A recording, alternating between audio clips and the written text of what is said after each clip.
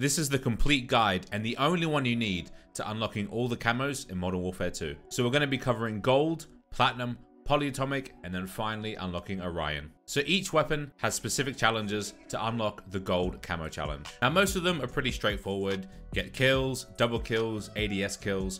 Some of them are a little bit more obscure, like getting prone and mounted kills. So what I recommend doing is getting your weapon max level or close enough and then doing the challenges.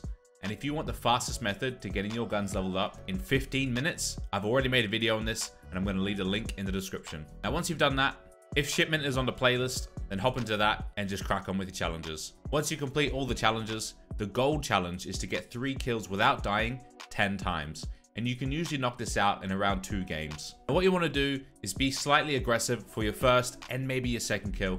But after you get the second kill, slow it down, hold an angle. Don't be afraid to camp a bit, as I can't tell you the amount of times I've got two kills, I've gone for the third, and then I die. But honestly, getting your gun to this stage is probably the longest part of the whole process. And once you've got a certain number of guns in that class gold, you can move on to doing the platinum challenges. Now you can do this by class, or what I did is I just went through and did all the guns gold and then went back and did the platinum. But it's up to you. You probably already have a lot of these challenges already done, but from start to finish, it'll probably take you around one to one and a half hour per gun to get gold. So if you can, just dedicate a whole day to doing this and you'll be able to smash out the majority of the guns in no time. Right, now that we finished gold, we're going to move on to platinum. And if you find this video useful at any point, make sure you leave a like on it and subscribe to the channel for more uploads. So for assault rifles, battle rifles, LMGs, SMGs, shotguns, pistols, and snipers. You need long shots. For the launches, you need to take out kill streaks, vehicles, or enemy equipment. For the riot shield and melee weapons, you need two kills within 10 seconds of each other.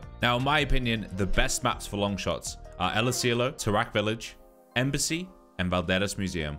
But like I said, I'm going to show you the spots for every single map. And what I did for most of these, except for the snipers, launchers, and melee weapons, I loaded it into hardcore domination. Now you can play whatever mode you like, but I prefer domination. And because the A, B, and C flags all show the distance, it just makes it a bit easier to gauge those long shots, and you can take people out when you're going to capture them. However, there is an optic that does show you the distance on the reticle. But for snipers and launchers, I played Ground War and Invasion. Now just note that the bot kills in Invasion don't count towards your camos, but you still get XP, so if you're looking to level up the weapons as well, just keep this in mind. But you can tell pretty easily who's a bot and who's not on Invasion. Now the reason I chose this game mode is that it's all very big maps, and it makes it super easy to get those 50 meter long shots for the snipers. To get the launcher's platinum, you need to destroy enemy vehicles, kill streaks, or equipment. And in Ground War and Invasion, there are UAVs and counter UAVs constantly going up throughout the match. The PILA and the JOKR lock onto targets, so it makes it super easy to take down the UAVs and counter UAVs. And because there are so many of these going up, it literally took me one game each for the JOKR and the PILA. I actually didn't do the Strela and had already done the RPG and shipment by destroying enemy munitions boxes, landmines, cluster mines. But because they don't lock on, it makes it a little bit harder to take out the kill streaks. The shotguns, I did something a little bit crazy. I put on a four times optic with slug rounds and I was hitting crazy 30 and 40 meter long shots. But since it's hardcore, you can probably just hit long shots normally. Now going through all the maps in alphabetical order, we have Al Bagra Fortress. This one is okay for long shots. Probably better off doing SMGs, pistols, and shotguns, but you can still get a few good angles. For the hotel, this one has a couple of good angles. If you're looking straight down the middle from either side, you can usually get quite a few long shots. Crown Raceway is actually a pretty good map for long shots. Down either lane on the outside edges and even in the middle can pick you up quite a few long shots. Dome is pretty good for SMGs. I did most of my SMGs on this map. Uh, if you just look straight down the middle here, whack on a four times optic, or you can even get up on the dome itself and catch people coming out the door. The El Asilo is one of the best maps, like I said. Any edge of the map will get you really good angles for long shots. So you can look towards A or C. You can even go up on this hill here, aim at people at the window, and vice versa. If you hop into that window and mount, you'll get pretty good long shots. Embassy is also one of the best maps. Pretty much any edge of the map it's perfect for long shots. All you have to do is go around the edge, or you can look straight down the middle, and there's people constantly running past. Just go to any of the four corners, and you'll pick up loads of long shots on this map.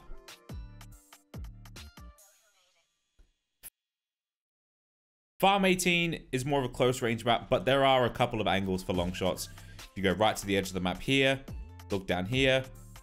If you hop onto the building and aim down that left side, you can catch people running through. And you can also peek through the gap and get people at the end. If you really wanted to, you could look down this way. But this is probably one of the best angles. You have a direct line of sight towards A. And if you're feeling a bit risky, you can also look down towards C.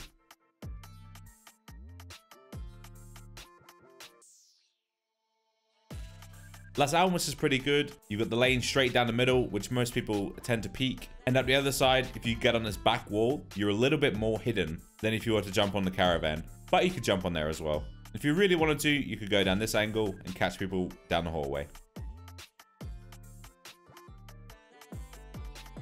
Now, I did about 24 hours of playtime, and not once did I get the Santa Seña border crossing map. This map got a lot of negative feedback. I think they've really reduced the chances of it being in the rotation, so I wouldn't even really worry about it. Uh, shipment isn't really good for long shots, maybe shotguns, and at a stretch, pistols, but shipment is best just for the goal grind, and probably the polyatomic for the headshots. Now, shoot house, obviously straight down the middle. I'm actually not that big of a fan of shoot house. And I think everyone kind of knows people are always aiming down the middle. So nowadays people don't really stand up there and they don't peek. So with Shoot House, I just did other guns. I did my shotguns, my pistols, just because it wasn't really worth sitting at the end all that time to get maybe three or four headshots. Taraq Village, also one of the best maps for long shots. Pretty much any angle on this map is a long shot. Go to either of the corners, any of the buildings, and you're pretty much guaranteed to get a long shot.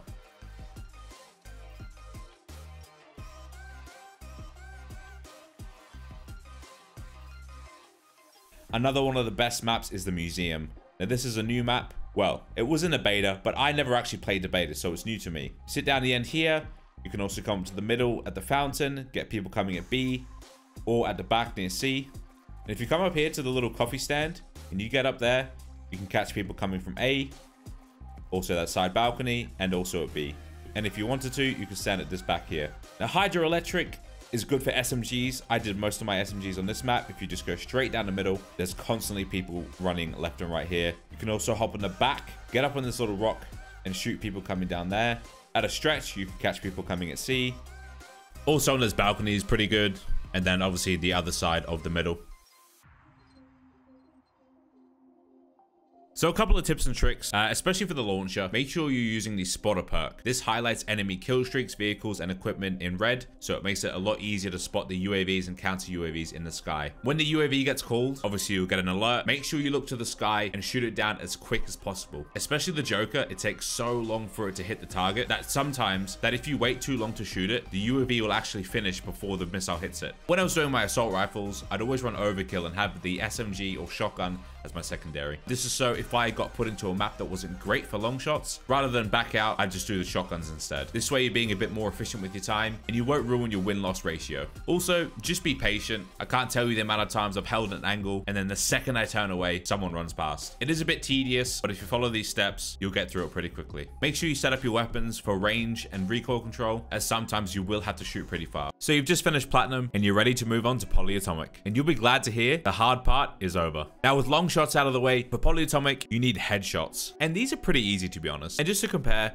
Platinum took me around 24 hours in total playtime, whereas Polyatomic only took me 17. For the first few weapons, I hopped into Hardcore Kill Confirmed, or I just played free for all, and I was averaging around 8 to 10 headshots per game. And then a few days later, they put Shoot the Ship back in the playlist, and that's all I played for the next few days. And it was taking me a maximum of two games for one gun. Some guns I even did in one game, and these were mostly the single shot weapons. So your pistols, marksman rifles, and battle rifles are probably the easiest guns to get headshots. So for the pistols, I put an optic on, usually just a mini reflex one, uh, just so your shots are a bit more accurate. As long as you aim for the head, you're most likely get a headshot. Now the Basilisk, probably one of the most fun guns to use to get headshots. And I actually got 12 headshots in one game.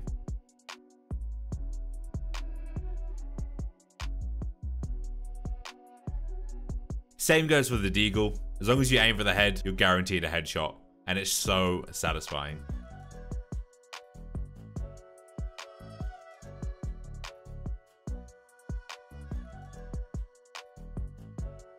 Now for shotguns, all you need to do, is set them up for range, hide a pellet spread, and just aim in the general direction of their head. Most of the time, you'll end up getting a headshot. Battle rifles, I set them up for recoil control. I would either put on the Schlager 3.4 times optic or the VLK, and it's a one shot.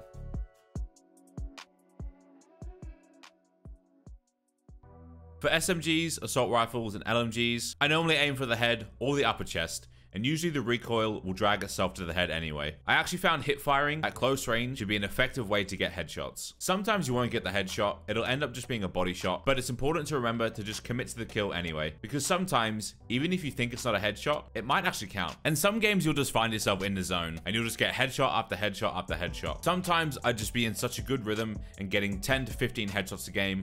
Other games, I'd struggle a bit and only get maybe 5. My preferred optic for getting these headshots was the DF105 reflex sight. It offers a nice clean sight, which makes it easy for lining up those headshots. But you can use whichever one you prefer. The only launcher I did platinum was the RPG, and I found this the easiest. And what I did, I just had it as a secondary, and if I saw multiple players together on shipment, I'd just fire a launcher at them and get the double kill. I did this over a fair few games, I didn't focus on it too much. I actually ended up skipping the other launches because I found them a bit difficult. For some reason, I don't know if it's a bug, but it actually let me get the headshots for some of the marksman rifles, even though I didn't have them gold or platinum.